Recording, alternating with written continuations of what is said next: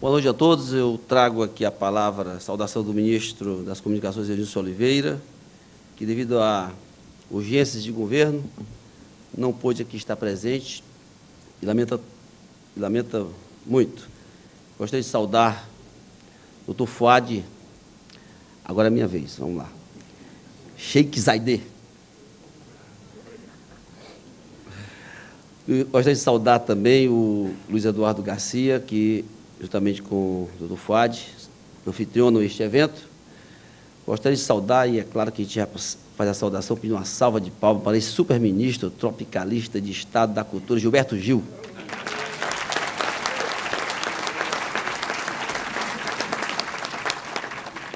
Saúde também o conselheiro da Anatel José Leite,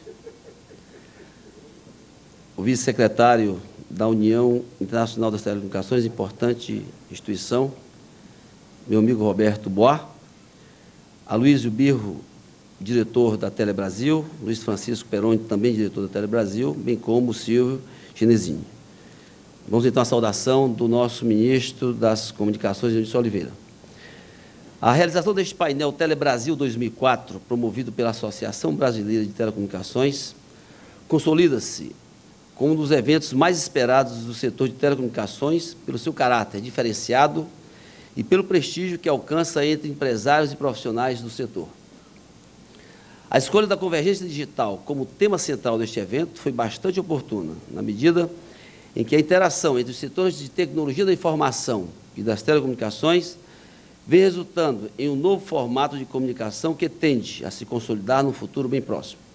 Portanto, torna-se fundamental reunir os principais agentes desta transformação no amplo debate, como é o caso deste importante painel, em torno das perspectivas e realidades do setor, permitindo que empresas brasileiras acompanhem esta importante evolução, superando os naturais desafios e adotando as ações indispensáveis à consolidação de novos negócios que já são a realidade em vários países. Tenho a certeza, diz o ministro, que este evento aportará grande contribuição para o desenvolvimento econômico e social do país, no bojo de um novo ciclo de crescimento econômico que o Brasil espera. Os indicadores econômicos que o Brasil, os indicadores econômicos elaborados por entidades de elevado grau de confiabilidade e credibilidade, demonstram mensalmente que estamos caminhando para uma base de expansão da economia em bases sustentáveis, abrindo espaço para investimentos em novos modelos de negócio, estabelecendo um novo paradigma para o desenvolvimento não só das telecomunicações, mas de toda a sociedade. Aos empresários aqui presentes ao painel Telebrasil 2004, quero reafirmar a orientação do presidente Lula no sentido de aprofundar o ambiente de colaboração e de mútua confiança com o empresário. E me sinto muito à vontade como empresário para dizer da minha convicção de que somente assim será possível cumprir a meta comum de elevar o padrão tecnológico brasileiro, incrementar o mercado e apoiar o ciclo de dinamismo que experimenta o setor de telecomunicações. Ao encerrar essa mensagem, registro que até o último momento tentei contornar compromissos de última hora para participar pessoalmente deste evento, o que não foi possível. Entretanto, tenho a certeza de estar bem representado pelo Mauro Oliveira, que ocupa o cargo de secretário de Telecomunicações do Ministério, pela sua competência e reconhecida militância no setor. Desejo a todos os participantes pleno êxito nesta jornada de trabalho e de criatividade. Muito obrigado.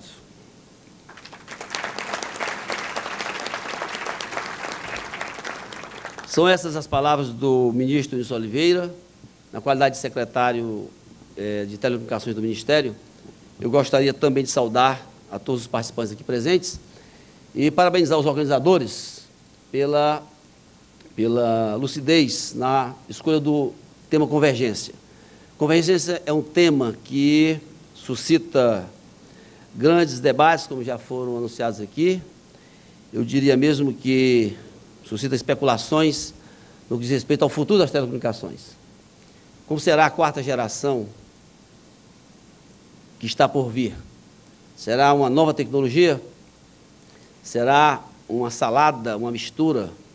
Será a convergência das tecnologias, provavelmente? Teremos novos atores, como, por exemplo, qualidade de serviço, mas uma qualidade de serviço agregado a ela é, alguns elementos novos, como o Always Best Connect, onde o usuário, razão de ser do sistema, estará sempre bem conectado. Será que falaremos de aspectos cognitivos na modelagem do usuário? Bom, são, são elementos que nos suscitam despertar, mas que certamente permeados pelo tema desse evento, que é a convergência. Mas se de um lado a convergência nos suscita essas especulações, a convergência também nos permite, nos inspira a celebrar esta sinergia fantástica existente entre o Ministério da Cultura e o Ministério das Comunicações. É, é uma sinergia, é uma sinergia que se permite num país fantástico, um país tropical, baiano por natureza, que se dá o luxo de ter um ministro tropicalista, que merece pela segunda vez nosso aplauso.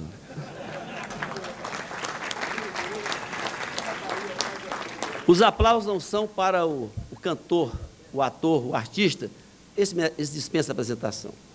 Mas os aplausos são bem direcionados a este homem de governo que sonha com a potência cultural e cujo sonho se traduz nas suas ações, nos seus discursos, no seu estilo corajoso de divulgar e de exercitar esta política cultural que esse país certamente há, há de se transformar. Eu, é, que estou à frente da Secretaria Nacional de Telecomunicações há apenas um mês, mas frente de meus novos sonhos desde o início deste governo, eu gostaria também de reiterar a mensagem do nosso ministro de confiança, de confiança nessa sinergia entre o empresariado, o governo e a academia. Atualmente na secretaria nós temos vários sonhos, né? Foi falado aqui da inclusão digital, como sendo o tema, um tema da moda. Na nossa secretaria, é, inclusão digital é mais do que um tema da moda, ele é realmente um sonho. Todos os senhores conhecem o projeto TV Digital, que levado a efeito pela nossa secretaria, que tem a cumplicidade de vários atores da, da, da sociedade. É uma chamada que o governo faz à competência brasileira para um modelo que contemple não só os aspectos de alta definição, mas também e principalmente essa tão propalada inclusão digital que tem tudo a ver com esse sonho que eu falei há pouco de uma potência cultural comandada por esse general da cultura que é o nosso ministro. Eu encerraria então dizendo que, que, todos, que todos os nossos sonhos de potência cultural, potência econômica, potência tecnológica, que todas elas sejam em direção ao homem, como foi dito aqui, né?